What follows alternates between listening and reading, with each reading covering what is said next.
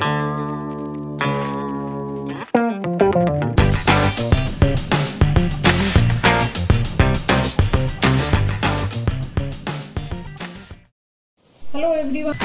everyone welcome to Goldy tasteful kitchen आज हम आपके लिए लेके आए हैं खट्टी मीठी आम की लौंजी। आम की लौंजी जो खाने में बहुत टेस्टी लगती है, आप इसको पराठे के साथ, नमकीन रोटी के साथ खा सकते हैं। तो इस सीज़न में ज़रूर बनाइए, बिल्कुल मिस मत कीजिए। ये देखिए, मैंने इस टाइप के हरे हरे आम दो ले लिए थे मीडियम साइज़ के, जिनको मैंने धोकर अच्छे से साफ़ कर लिया था, फिर छील लिया है इनको। छीलने के बाद मैं आपको बताऊँ कि इसको ऐसे करके आप कैसे भी, आप चाहें तो ऐसे लंबे पीसेस कर सकते हैं, आप चाहें तो ऐसे पीस कर सकते हैं।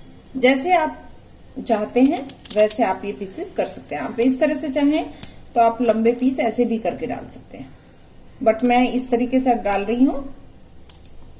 और जो भी आप इस गुठली पे ये है, आप उसको अच्छे से निकाल लीजिए, ऐसे छोटा छोटा पूरा निकालना है, इसको वेस्ट नहीं करना। ये भी जब उसमें डलता है तो ये ग्रेवी को जो है, वो थिकन करता है। ग्रेवी उससे गाढ़ी होती है, और आप ज़रूर बनाकर देखिएगा। तो ये देखिए, सबसे पहले इसके लिए मैंने लिया है थोड़ा सा ऑयल बहुत ही एक चम्मच हम यूज़ करेंगे।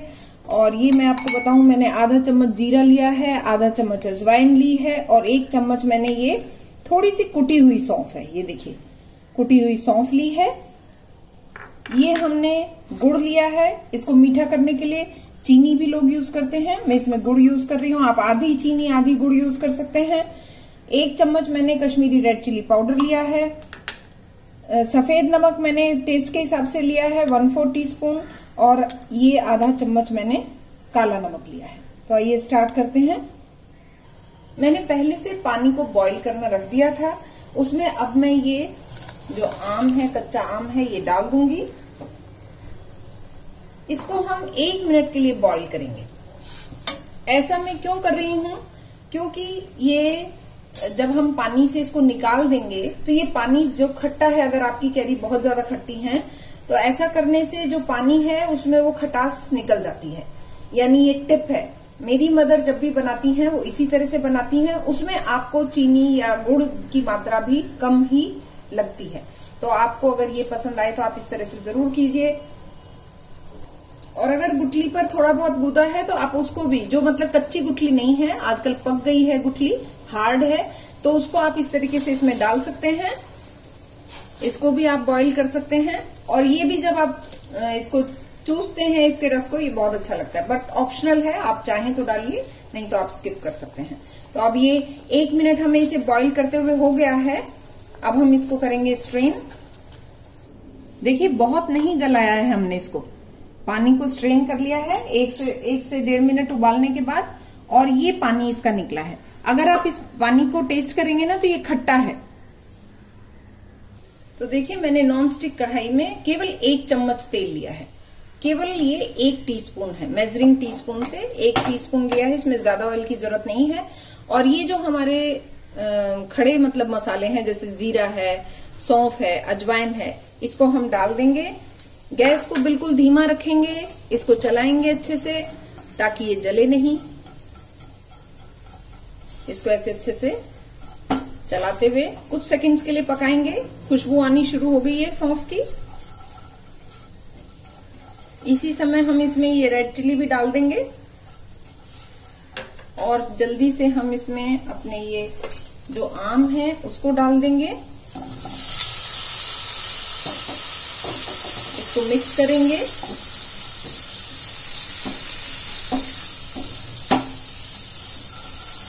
एक मिनट के लिए इसको ऐसे भूनेंगे, पकाएँगे। आप इस तरह से बनाकर देखिएगा, बहुत अच्छी लगती है। ज़रूर ट्राई कीजिएगा।